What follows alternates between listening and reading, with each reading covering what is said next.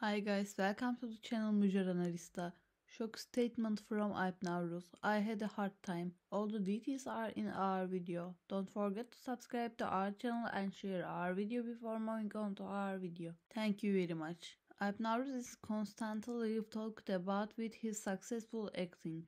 With her love life, she does not fall from the agenda of the magazine. Alp is currently playing in the TV series Kollut Yürek Çıkmazı, which is broadcast on TRT1 screens. He also receives great acclaim for his performance in the TV series. He showed a great acting, especially in the final skin of his mother, which was broadcast in the first episode. The handsome actor spent a long time on acting training. That is why he wasn't forget into the role. However, it was a very difficult skin that forgot Alp Navruz. Navruz, but skin was a very heavy one. It took me a long time to come to my sense afterwards. It is a pleasure for me that the stitch is appreciated.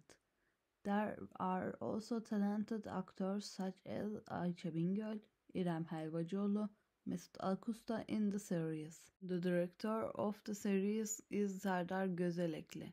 This beautiful story is written by Ayla Hacıoğulları and Wilmer Özçınar. The series attracted everyone's attention with its wonderful cast and different scenario. The series is really heavy drama. That is why players need to show high performance. Alp Navruz and İrem Helvacıoğlu echo this with their great acting. Alp Navruz said that he was having a hard time and everyone cried during the final skin.